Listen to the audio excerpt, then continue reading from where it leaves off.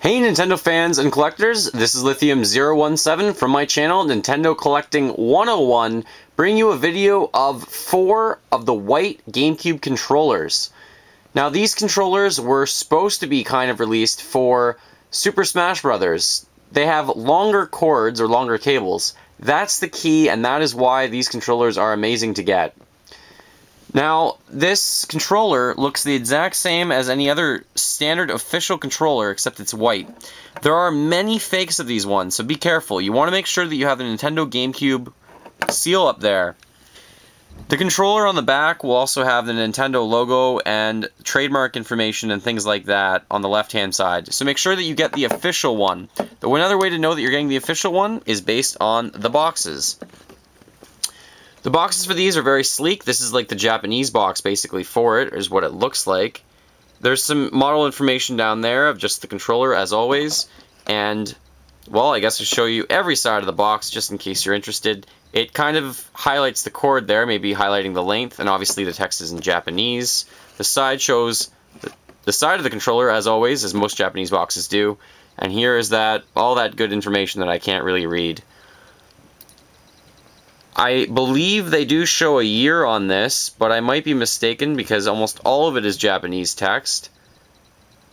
It does obviously say for commercial use only. Now, the cable length, it states is 3 meters, so it's just shy of 10 feet long. The original controller had a cable of maybe 2 meters, or roughly 6 feet long. So what I've done here, just to show you the benefit of having one of these longer cable controllers. My GameCube is over there, and I have plugged in an original controller, just the blue with the clear on the bottom. And this one goes all the way to here, let's say. So let's just stretch it out on the table. That is it fully extended.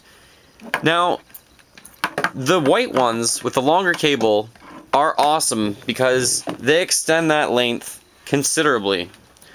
So where the blue one, the indigo one, only goes to there and the clear, this one goes back all the way to here. So I have a couch that's way over here across from where my GameCube is kept. Now I can actually play, and I can sit down on this couch, and the controller reaches all the way. Now you might say, great, great Lithium, that's just a fantastic idea, but there's also the Wavebird. Let me just pick up a Wavebird and show you what that one kind of looks like. I have a few Wavebirds here, including this Club Nintendo one, but I'll pick up the standard Platinum one. And the Wavebird, yeah, it's wireless. I can sit wherever I want. I can do whatever I want with it. But because of battery life, you lose the lasting effect of rumble.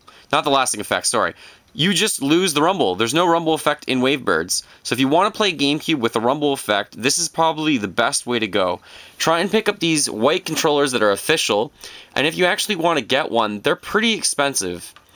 I bought the set of four of them because I thought it was a good deal, and I thought actually using them when I play with my friends and play Super Smash Bros. would be a great idea.